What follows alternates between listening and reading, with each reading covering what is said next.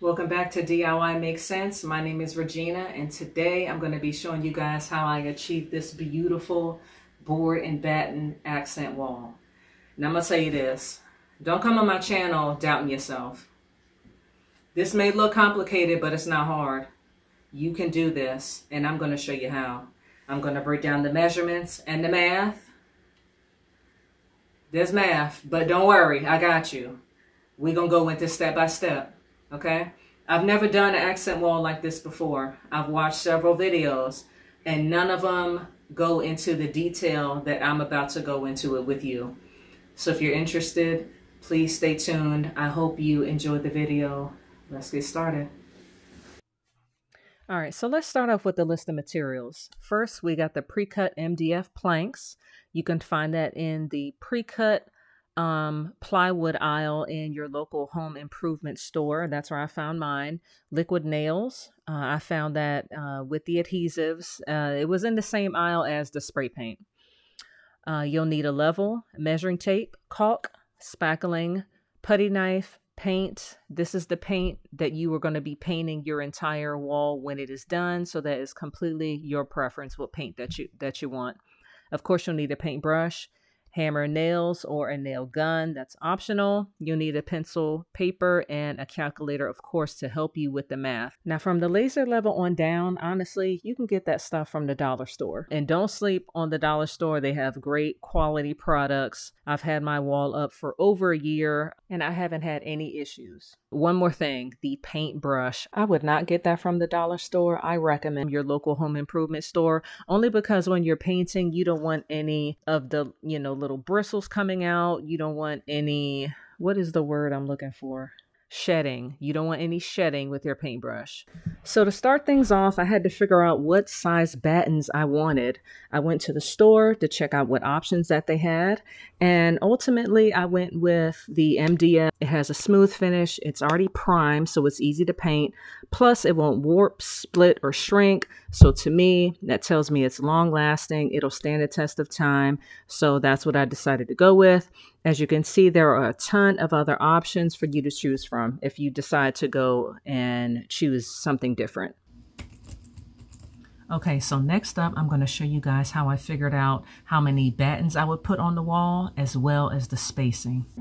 So I found that the biggest challenge with creating the board and batten wall was figuring out the spacing, okay? So I'm going to show you guys how I um, achieve the spacing that I got, the squares that I was able to get um, by demonstrating on a blank wall. I'm down in my basement, so if the lighting is off, I'm sorry.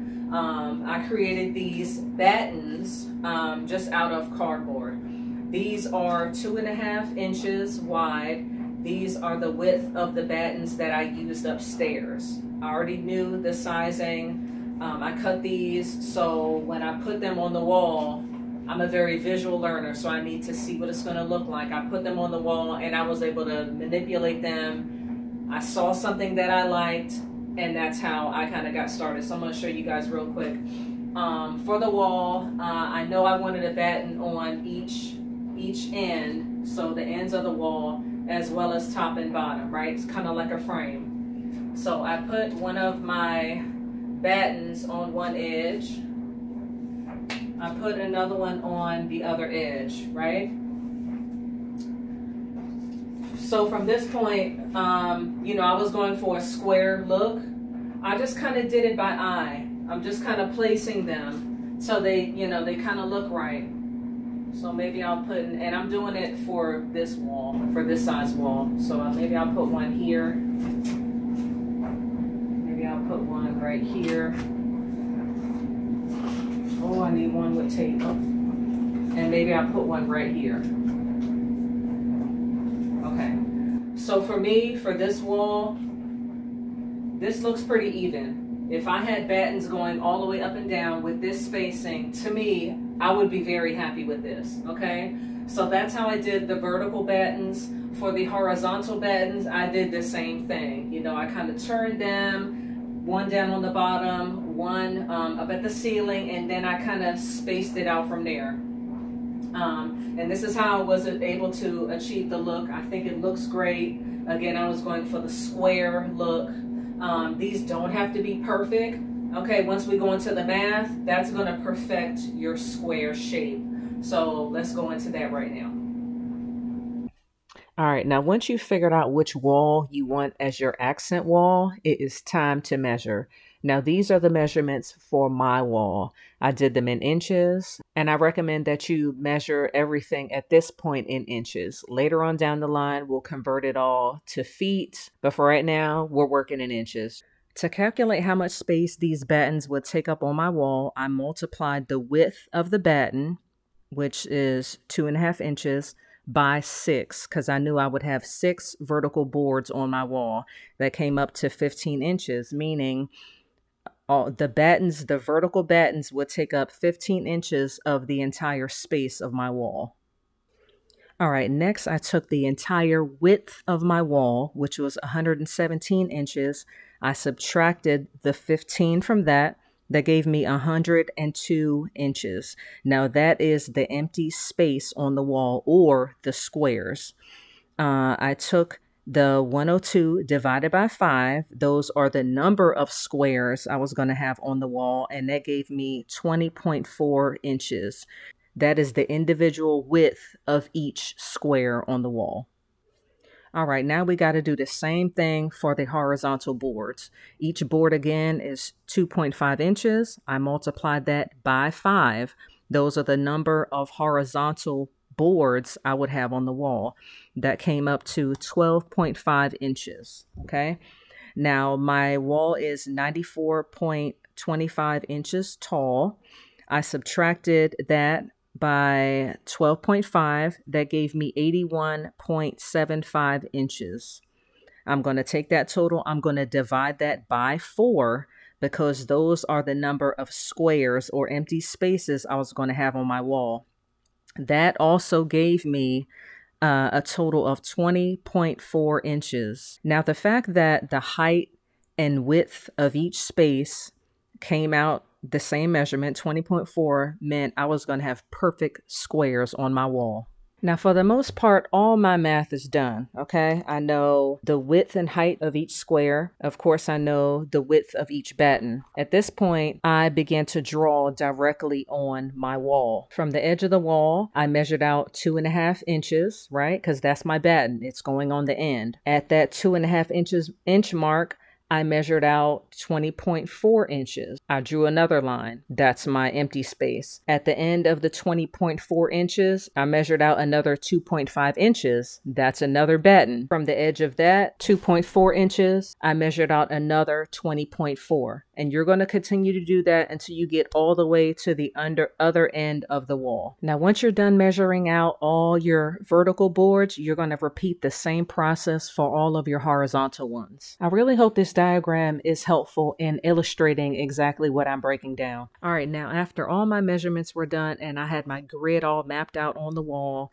I had to figure out how much batten board that I needed. So in order to do that, I multiplied the width of my wall times the number of horizontal boards. I also multiplied the height of my wall times the number of vertical boards. I totaled that together and at this point, this is where you need to convert everything over to feet. Once I converted it to feet, I divided it by 12. 12 is the individual length of one batten board at the store. Once I divided it by 12, that gave me the total number of boards I would need to achieve this design. All right, now I am almost ready to go to the store, but I needed to make sure I had all the board length measurements organized. I knew that I would be installing both the top and bottom boards first. That was simply the the length, the width of my whole wall, so that was easy. I knew I would have six vertical boards and they all had to be cut to accommodate the top and bottom boards. I figured those measurements out. And then I just knew I would have a lot of horizontal boards measuring 20.4 inches. I had a total of 15. There you go. Now you need to have all of these measurements ready to go and organized in, in order to have a successful trip at the store. If you have a saw already at home, of course you're going to use that. But if you don't have a saw, you want to call your local home improvement store.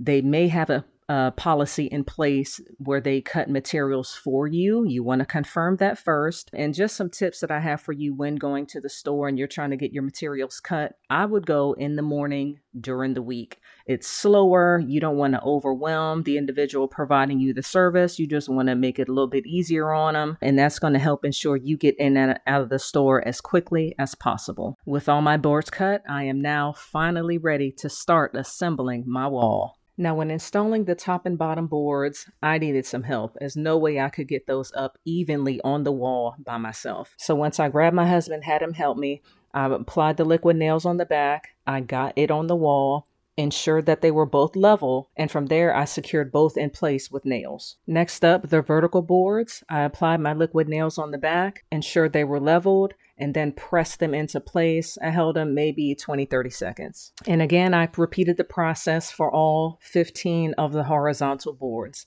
Now, it's inevitable. You're going to have a few that once you secure them on the wall, they may slide down a little bit. If that happens, and I had a few that did that, I simply grabbed some nails. I put the level on top of each board, you know, that I was having issues with.